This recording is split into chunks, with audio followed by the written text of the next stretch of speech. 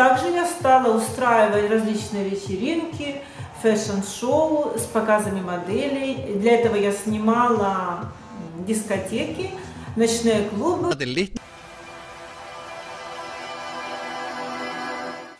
Началось все с самого раннего детства, э, потому что, как я вам уже когда-то рассказывала, э, моя бабушка работала на швейной фабрике в небольшом российском городке, и она занималась и пошивом платьев, и пошивом верхней одежды, и вот маленькой своей внучке она шила и пальто, и платье, потому что у нас дома была швейная машинка. В школе на уроках труда я неплохо шила, э, Учительница всегда приводила в пример мои работы. Когда уже заканчивала школу, я смогла сама себе по журналу Бурда сшить э, интересный такой пиджак с длинным э, хвостом да, из парчи. Позже, когда я переехала в Осло, э, мне очень хотелось поступить в Эсмат, да, это школа дизайнеров, но что-то не сложилось или наоборот сложилось, вам решать. Но вместо того, чтобы стать дизайнером, в 2010 году я открыла свой винтажный магазин в центре Осло, и там я продавала винтажную одежду. Также мне хотелось что-то для своего магазина создавать. Сразу я вела блог о своем магазине.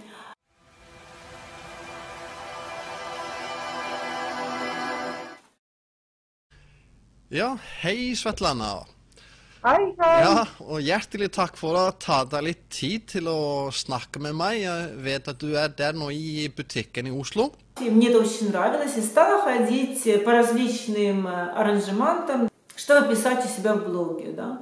И со временем я развивала свой blogg. Он становился все интереснее и интереснее. Kan du fortelle meg hvorfor uh, har du blogg på blogg.no? Jeg synes så stilig det bildet av den vintage-dama der som du bruker som profilbilde. så... Jeg bruker blogg eh, til å fortelle til alle at eh, vintage det er ikke noe gærent å bruke eh, gammelt på, eh, klær. Det kan være uansett eh, veldig moteriktig og originalt. Также я стала устраивать различные вечеринки, fashion-шоу с показами моделей. Для этого я снимала дискотеки, ночные клубы и потом рестораны. То есть э, сама создавала шоу, и сама я одна и с партнерами иногда работала. То есть у меня огромный опыт за спиной создания шоу. И все это делала просто как маркетинг для своего магазина.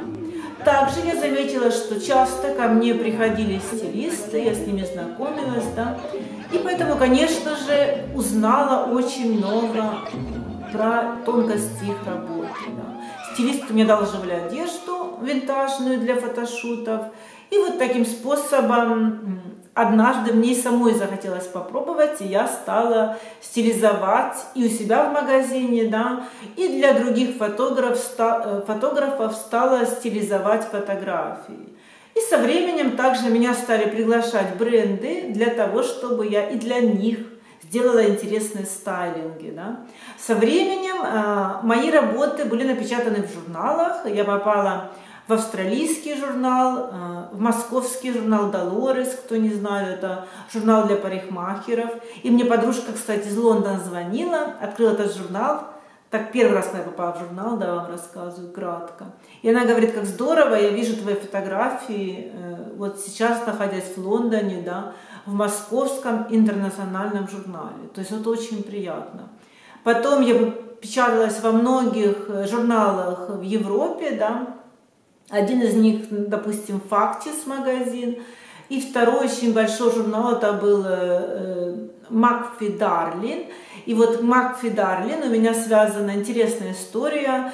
В журнале так понравились мои фотографии, что они мне потом писали и э, требовали буквально сделать стайлинг, чтобы сразу же опубликовать у себя на обложке. То есть и несколько раз было две или три обложки именно в этом журнале. Все это можно увидеть у меня в портфолио. Также я стала работать со знаменитостями, э, делала стайлинг для норвежской балерины, которая танцует э, в опере и балете, да? делала стайлинг для э, норвежской виолончелистки, И потом для интернационального боксера и также работала с диджеями, с артистами, э, с певцами. И, естественно, мне было очень интересно, потому что мы делали очень интересные фотосессии. Так я познакомилась с очень многими фотографами, кстати, и до сих пор с ними дружу. И получила еще больше работы. Мне это очень нравилось, да, э, Фотографий у меня сейчас очень много, наверное, даже переваливает уже за несколько сотен. У меня работа очень вариативная, да? до сих пор я работаю с этими людьми, до сих пор у нас идут сейчас кое-какие проекты, да, про которые, естественно, не могу говорить. Работа стилистом – это не базовые вещи. Да? Для меня работа стилистом – это подобрать акценты, подобрать детали для каждого человека, чтобы выразить свою индивидуальность. Ну вот так как-то вкратце, то есть как я стала стилистом, наверное, это все произошло очень натурально, да, естественно.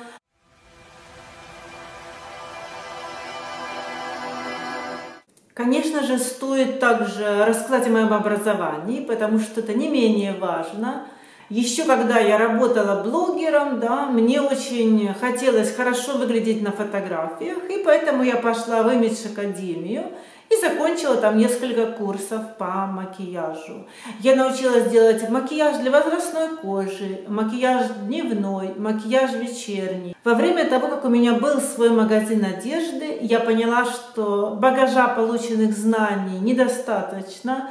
Мне хотелось учиться, развиваться. А в основном я поняла потому, что для того, чтобы делать маркетинг для магазина, нужно хорошо разбираться именно в продукте да, и в способах коммуникации. Конечно же, тут мне захотелось получить э, соответствующее высшее образование. Я пошла учиться на бакалавра по рекламе. У меня это было незаконченный бакалавр, потому что перепрыгнула на мастера, и мастера уже доучилась до конца, да получила степень МЕ, это мастер экзекутив, кто не знает, норвежская бизнес-школа, э, мастер из трех программ. Первая программа – это консалтинг, вторая программа у меня была коммуникация – и третья программа – это пиар. То есть получилась у меня очень интересная и необычная степень мастера, которая состоит из консалтинга и пиара. И теперь мне очень легко работать с клиентами.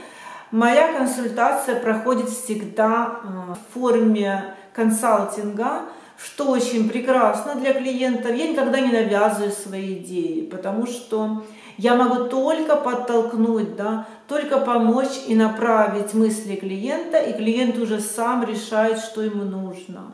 И, конечно же, уже на первом занятии я отталкиваюсь от того, что мы строим процесс, основываясь на целях клиента. У кого-то цели имиджевые, у кого-то цели, связанные с карьерой. Кто-то хочет улучшить отношения, кто-то хочет, может, найти своего спутника жизни, да.